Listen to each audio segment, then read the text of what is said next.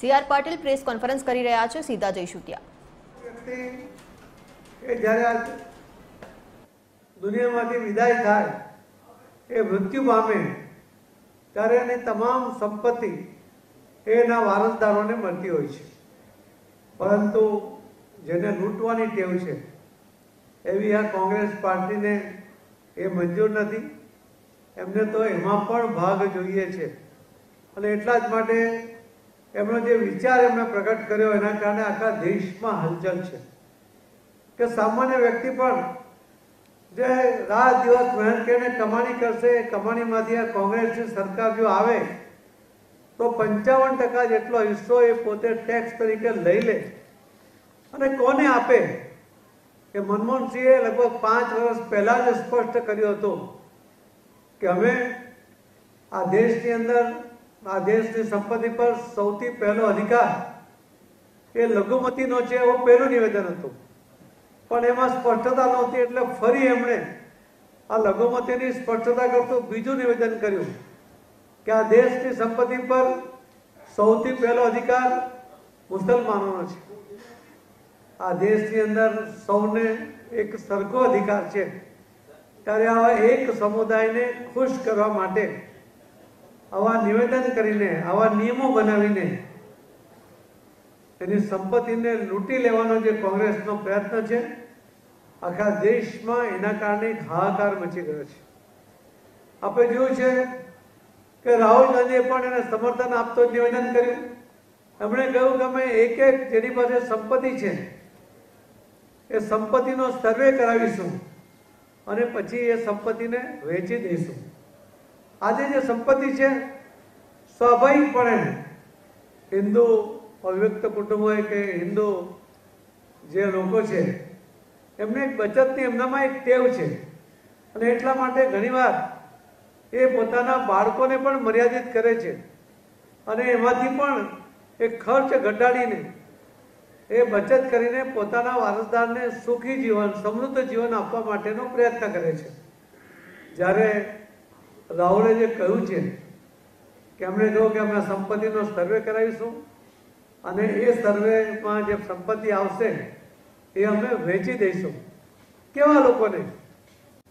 જે ઘૂસપેઠિયા લોકો છે એમને જે વધુ બાળકો પેદા કરીને આ દેશ પર ભાર વધારે છે, પોતે કમાવાને બદલે જે લોકો મહેનત કરીને કમાય છે, એમાંથી સંપત્તિ લઈને એમને આપી દેવાનો જે પ્રયત્ન છે ભારતીય જનતા પાર્ટી અને હરગીત ચલાવી લેશે નહીં.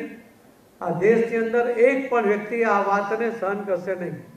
અને એટલા જ માટે એમના મનમાં જે આ ભાવના છે, એ કોઈ પણ સંજોગોમાં એને પૂર્ણ થવા દેશું નહીં.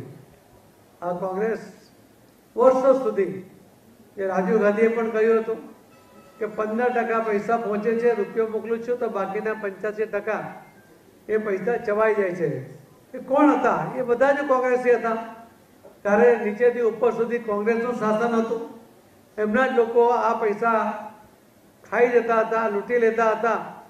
એ રાજીવ ગાંધીએ ત્યારે પણ સ્પષ્ટ કર્યું હતું.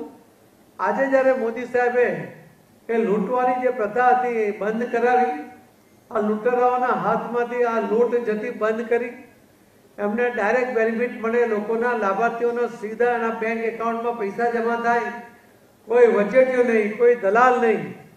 અને એટલા માટે રૂપિયો મોકલે તો પૂરો રૂપિયો એના હાથમાં આવે. એ પ્રકારની વ્યવસ્થાને કારણે આ લોકો એ હલચલી ગયા છે. એમને લાગે છે કે એમના હાથમાં હવે કંઈ આવતું નથી. ને એટલા માટે એમણે આ દેશના લોકો જે મહેનત કરવાવાળા લોકો છે, અને મહેનતથી કરેલી આ કમાણી જે પોતાના વારસદારોને આપવાનો એનો અધિકાર છે. એની પર ટેક્સ નાખીને એ ટેક્સના પૈસા જો કોઈ સમુદાયને એને ખુશ કરવા માટે આપવાનો પ્રયત્ન કરે, એ અમે હરગીજ ચલાવી લેવાના નથી અને અમે એનો જબરજસ્ત વિરોધ પણ કરીએ છીએ. આજે આ કોંગ્રેસની જે મથરાવટી મેલી છે, એ આજે લોકોની સમક્ષ ખુલ્લી પડી ગઈ છે. અને આ દિન સુધીમાં તમે રાજીવ ગાંધી હોય, રાહુલ ગાંધી હોય, મનમોહનસિંહ હોય, એ બધાની મથરાવટી મેલી છે, એમણે સીધા આડકતરા અને સમર્થન આપ્યું છે. ને જે એમના મુખ્ય સલાહકાર છે એમણે આ વાતને જાહેર કરીને એમના જે મનમાં છે એ આજે સ્પષ્ટ કર્યું છે. ગઈકાલે પણ કર્ણાટકની અંદર જે લાભાર્થી હતા, જે લોકોને રિઝર્વેશનનો અધિકાર છે, જન્મજાત અધિકાર મળ્યો છે, એવા લોકોમાંથી પણ એમનો અધિકાર કાપીને એમણે ચોક્કસ સમુદાયને ખુશ કરવા માટે ચાર ટકા જેટલો એમને રિઝર્વેશન આપવાનો નિયમ કર્યો છે. એમને ખબર છે કે આનો કોઈ ફાયદો થવાનો નથી. ચોક્કસ એ રદ થશે. પરંતુ એની પાછળ એમની જે મથરાવટી મેલી છે, એમાં દેખાઈ આવે છે કોઈ એક ચોક્કસ સમુદાયને લાભ કરવા માટે જેને અધિકાર છે, જે વર્ષોથી પીડિત છે, એવા લોકોના અધિકારમાંથી આ ચાર ટકા રિઝર્વેશનનો અધિકાર કાપીને એ જો કોઈને આપવાનો પ્રયત્ન કરશે, ભારતીય જનતા પાર્ટી એનો સખત વિરોધ કરે છે અને કોઈ પણ સંજોગોમાં અમે આ ચલાવીશું નહીં, એ પણ આપની સમક્ષ હું મૂકવા માંગુ છું.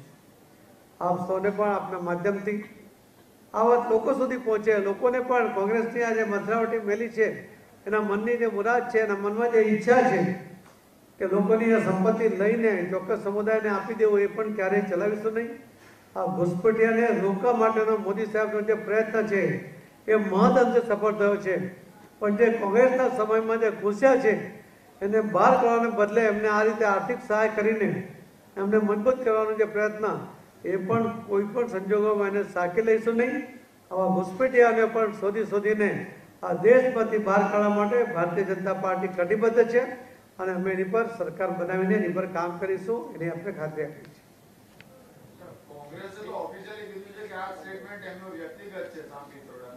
જો જે વ્યક્તિ એનો નીતિકાર હોય સલાહકાર હોય એ જ્યારે એવું કહે કે આ કરવું જોઈએ અને એને ઘણી બધી નીતિઓ એની સલાહોને અનુસરીને કોંગ્રેસ કામ કરતી આવી છે. બીજું કે સામ પિત્રોડાની એકલાની વાત નથી. મનમોહનસિંહે પોતે પાંચ વર્ષ પહેલા કહ્યું હતું કે આ દેશની સંપત્તિ ઉપર સૌથી પહેલો અધિકાર એ લઘુમતીનો છે. પણ લઘુમતીની સ્પષ્ટતા નહોતી, એટલે એમણે ફરી નિવેદન કર્યું છે. અમે તમને બધાને આના વીડિયો થોડી વારમાં મોકલી મોકલી આપીશું. એમણે સ્પષ્ટ કહ્યું છે કે આ દેશ પર દેશની સંપત્તિ પર સૌથી પહેલો અધિકાર મુસલમાનોનો છે. એવું એણે સ્પષ્ટપણે મનમોહનસિંહે પણ આ વાત કરી છે. એટલે આમાંથી આ સ્પષ્ટ થાય છે કે આ બધી આખી જે ચેન છે, એ બધા જ આ વાત સાથે સંમત છે. આજે એમને લાગે છે કે આ તો પોલ ખુલી ગઈ, એટલા માટે એમણે કહ્યું કે અમારે એની સાથે કોઈ સંબંધ નથી. પરંતુ એનો સંબંધ છે, આ વિચાર એમના મનમાં છે અને એની પર એ લોકો સતત આગળ વધતા રહ્યા છે શિરભાઈ, આ જે inheritance નો tax નાખવાની વાત છે, એ ક્યારે શક્ય બને? કે જ્યારે કોંગ્રેસ પાવરમાં આવે ત્યારે. હવે આપણે BJP તો 405, ગુજરાતમાં પાંચ લાખથી વધારે લીડ. આ પ્રકારની વાત આપણે સંકલ્પ કરી લીધો છે કે એ થવાનું જ નથી, કે એ લોકો સત્તામાં આવવાના જ નથી. ને એ ગમે ત્યારે સત્તામાં આવવા માટે આવા પ્રલોભન કરીને જ્યારે એના મનની જે વાત છે, બહાર પાડે છે, ત્યારે ભારતીય જનતા પાર્ટી આ દેશના લોકોની પોતાની સંપત્તિને કોઈ આ રીતે લઈ લે અને બીજાને આપી દે ક્યારે સાકી લેશે નહીં, આવી વાતને ક્યારેય સ્વીકારશે નહીં. હા ભાજપ દ્વારા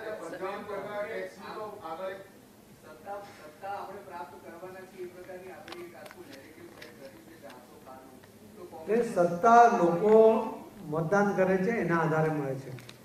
પણ આવા રીતે આવા લાલચ આપીને કે આ રીતે કોઈની સંપત્તિને હડપ કરીને જો એ આવી લાલચ આપીને કોઈની સંપત્તિ પર જેનો ડોળો છે એ સ્પષ્ટ થયું છે. મુદ્દો એટલો જ છે એમાં. એ લઘુમતીને ખુશ કરવા માટે પણ એટલે કોંગ્રેસ આ મુદ્દાથી લઘુમતીને અપીલ કરીને બહુમતી કેવી રીતે પ્રાપ્ત કરે નહીં એ એનો શું પ્રયત્ન છે એનો પ્લાન છે અમને એની સાથે કોઈ નિસ્બત નથી. અમે આ એના જે વિચાર છે એનો સખત વિરોધ કરીએ છીએ.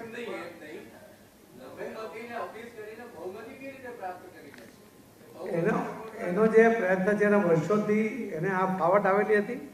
અને એટલા જ માટે વર્ષોથી એના દરેક નેતાઓના આ નિવેદનો અમે મનમોહનસિંહ જેવા કાયમ મૌન રહેવા વ્યક્તિ પણ આવું નિવેદન એમણે કર્યું છે. એનો તમને પાંચ વર્ષ પહેલાની હા, પણ એટલે એને એમના મનમાં છે ત્યારથી. ત્યારે એમની પાસે બહુમતી નહોતી. સરકાર નથી આટલા વર્ષોથી હવે. દસ વર્ષથી તો સરકાર નથી.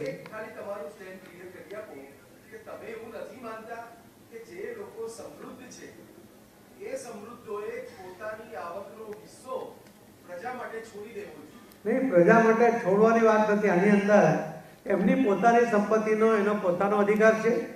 એમણે જે સરકારનો ટેક્સ છે એ ટેક્સ ભર્યા પછી એ સંપત્તિ એની પોતાની માલિકીની છે એ પોતાના વારસદારને આપણા કાયદા મુજબ આપણા નિયમ મુજબ આપણી પ્રણાલી મુજબ વારસાગત વારસદારને આપતા હોઈએ છીએ. એની પર કોઈ પણ પ્રકારનો ટેક્સ કે લેવામાં આવતો નથી અને એ સિસ્ટમને અમે અનુસરવા માંગીએ છીએ.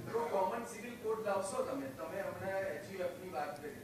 કોમન સિવિલ કોડ લાવશો ત્યારે આ આ સિદ્ધાંત ન આર્થિક બાબતની વાત કોમન સિવિલ કોડની અંદર આ કોઈની સંપત્તિ ઉપર વારસાગત તેની પર કોઈ ટેક્સની કોઈ યોજના નથી. કોમન સિવિલ કોડમાં આ વાત આવતી નથી.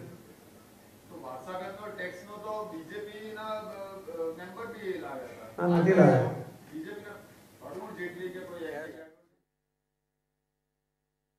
ખાતે આજે ભાજપનો ભરતી મેળો યોજાયો જેને લઈને સીઆર પાટીલ દ્વારા પ્રેસ કોન્ફરન્સનું આયોજન કરવામાં આવ્યું હતું.